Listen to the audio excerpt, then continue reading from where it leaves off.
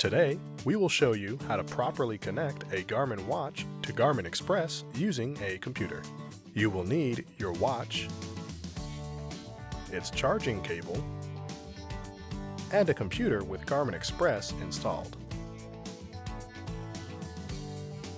Begin by opening Garmin Express on the computer. Then attach the watch to the charging cable. Ensure the watch is fully seated in the charger. Now take the other end of the cable and plug it into the computer's USB port. You should notice the watch entering mass storage mode. Also, Garmin Express should see your connected device.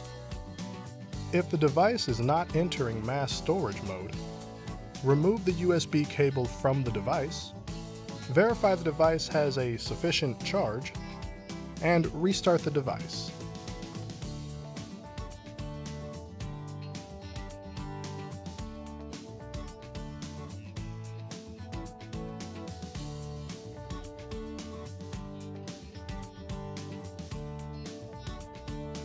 If the device is still not entering mass storage mode, disconnect the device, restart the computer,